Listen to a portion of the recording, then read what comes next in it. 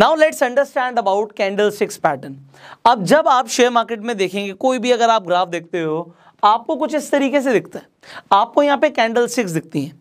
अब candle six जब आपको दिखती है, आपको समझ नहीं आता भैया ये है क्या चीज़। अब यहाँ पे बड़े ध्यान से देखिए, आपको मैं बहुत इजी लैंग्वेज में समझाने की कोशिश करूँगा। अभी इनके पैटर्न्स भी होते हैं बट आप ये समझिए, पहले कैंडल स्टिक होती क्या है। ये जो आप एक स्टिक देख रहे हो, इसमें जो ये बीच वाला स्ट्रक्चर है, इसे हम बोलते हैं बॉडी ये जो बीच वाला स्ट्रक्चर है, इसे हम बोलते हैं बॉडी ये हो गई हमारी बॉडी और ये जो आप देख रहे हो, ये डंडी सी यहाँ पे जो निकल रही है, इसे हम बोलते हैं विक. क्या बोलते हैं? विक. चाहे वो ग्रीन कलर की कैंडल हो आपकी, चाहे वो रेड कलर की कैंडल हो तो आपको समझ आ गया कि बीच वाले को हम बोलते हैं बॉडी और ऊपर नीचे जो ये लाइंस आ रही है, इन्हें हम बोलते हैं विक. अब इन्हें जो हम विक बोलते हैं, इसे हम विक क्यों बोलते हैं? और ये चीज़ है क्या? देखो जो ग्रीन कलर की कैंडल होती है, ये दिखाती है कि प्राइस ऊपर जा रहा है। ये बुलिश कैंडल स्टिक है। और जो रेड है, वो बियरिश है। बियरिश मतलब नीचे, बुल मतलब ऊपर।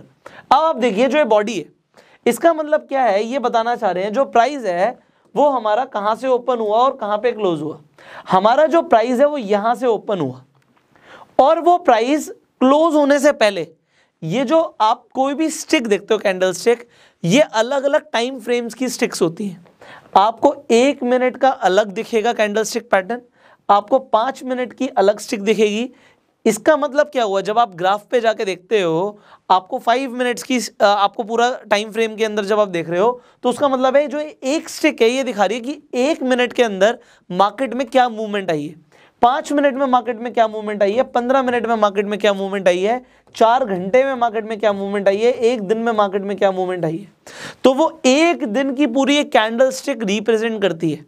इसका मतलब क्या होता है कि जो आप यहाँ पर देख रहे हो, इसका मतलब है प्राइस ऊपर गया, यहाँ से ओपन हुआ, यहाँ पे क्लोज हुआ बट क्लोज होने से पहले वो हाई यहाँ तक मार गया है।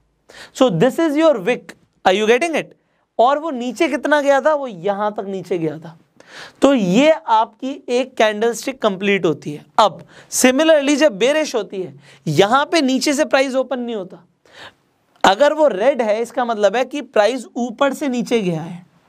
और अगर वो बुलिश है तो नीचे से ऊपर गया है। तो ओपन यहाँ से होगा क्लोज वहाँ पे होगा। उसमें उल्टा होगा। ओपन यहाँ से होगा और क्लोज यहाँ पर होगा। बट वो ऊपर कितना गया था? वो हाई यहाँ तक गया था और लो यहाँ तक गया था। डिड यू गेट इट अगर आपको ये समझ आ गया वेल एंड गुड आप बिल्कुल ठीक जा रहे हो। यहाँ तक ये चीज़ें समझनी बहुत ज़रूरी थी। अब इनके पैटर्न्स भी होते हैं। वो हम आने वाली वीडियोस में डिस्कस करेंगे। अभी सब कुछ जानना ज़रूरी नहीं है, वरना आगे इंसर दर्द हो जाएगा। इतना समझ आ गया, आगे बढ़ते हैं।